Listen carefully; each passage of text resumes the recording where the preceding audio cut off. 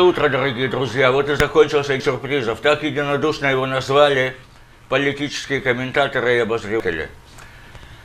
Э, вчера, когда, казалось бы, уже ничто не может явить израильского избирателя, после того, как Амир Перец перешел в стан врага, незадолго до закрытия записи в Центральной избирательной комиссии вдруг объявились новые люди. Возродилась новая старая партия, и во главе ее стал совершенно неожиданно для некоторых, но для Этон ТВ это событие было ожидаемо, во главе ее стал бывший уже теперь политический обозреватель, главный ведущий, лицо девятого канала Давид Кон. Сейчас Давид Кон, глава избирательного списка новой старой партии «Израилим», у нас на линии. Давид, доброе утро. Доброе утро. Ну и как вы себя чувствуете в новой роли? Ну, пока еще не чувствую. Пока только вот так недавно проснулся, и сейчас посмотрим, как я себя чувствую. Давид, я, нап... я напомню тебе, можно на ты, да? Я напомню тебе и нашим зрителям, что год назад Итон ТВ, почти год назад, Итон ТВ был первым каналом, который предсказал подобное возможностного развития событий. Но как бы тогда ты всячески открылся от того, что это может произойти по твоей инициативе. Сейчас это произошло по твоей инициативе. Сейчас это произошло, э, ну, ситуация, наверное, такой. То есть, э, когда мне год назад, или там, ну, может, чуть меньше, предложили подумать о создании такой партии, я как-то к этому не очень серьезно отнесся, но, во всяком случае, мне не казалось, что люди, которые этим, это мне предложили, что они об этом серьезно. На самом деле, они говорили об этом серьезно, то есть они э, то ли приобретении, то ли получении э, в этой самой Израилим, они эту партию забрали у ее владельца, у того человека, который ее создал. Это некий человек, я, честно говоря, никогда не видел и никогда не знал о нем. Э, ну, вот они эту собрали, собирались идти своим молодежным, скажем так, молодежным русскоязычным списком. А, я получил несколько дней назад предложение от Цепелевни в ее список на очень вполне реальное место. Я это предложение довольно внимательно рассматривал.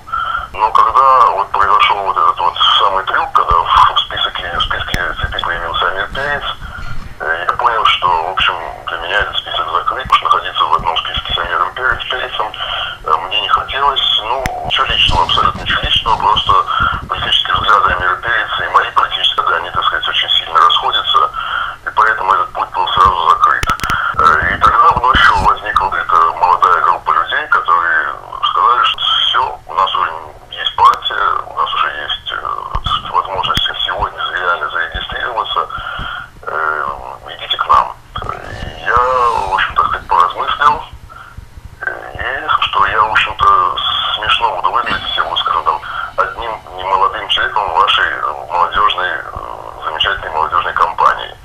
И предложили, так сказать, подобрать себе какого-то, так сказать, пару человека с опытом. Я обратился к одному из депутатов коммунистических действующих, тоже пойти в этот список, получил отказ, затем предложил, скажем, Алексу, и Алекс, Алекс согласился.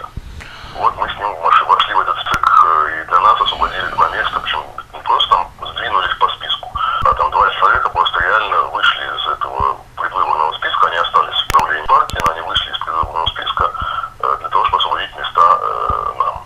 Вот так все, собственно, и происходило. Ну, на самом деле довольно странно э, слышать о том, что ты отказался от реального места в списке Ливни по э, идеологическим соображениям. Насколько я понимаю, вот эти, эта предвыборная кампания нам э, наглядно показала, что идеология это последнее, чем руководствуются наши потенциальные депутаты.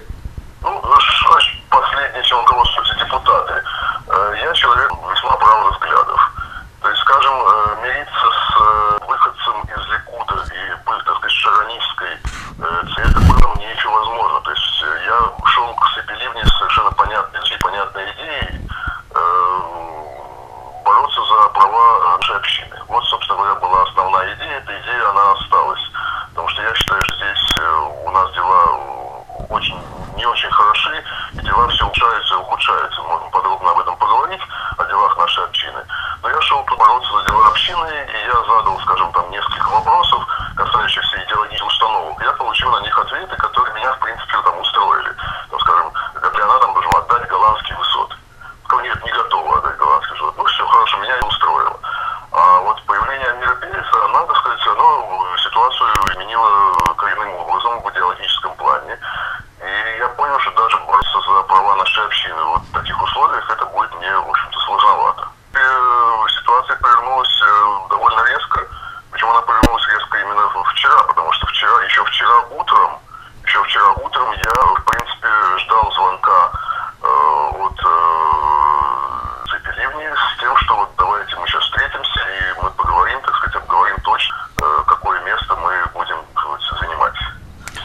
Давид, к сожалению, и на линии... Потом, так сказать, вижу всю эту, вот, всю эту картину по телевизору и понимаю, что это не, не получится, и тут э, звонок, и тут предложение, и тут разговор, что давайте все-таки, так сказать, порешим этот вопрос, давайте все-таки э, пойдем, и вот э, и уже идем.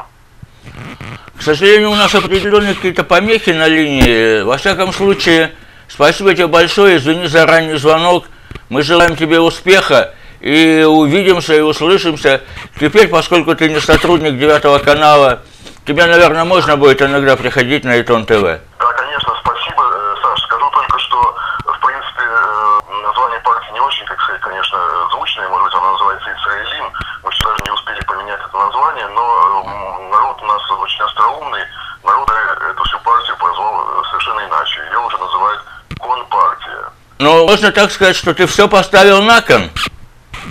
Ну, в принципе, да, можно подобрать много слов всяких. Что ж, успеха тебе. Пусть этот вот самый кон как бы окажется выигрышным. Спасибо. До связи.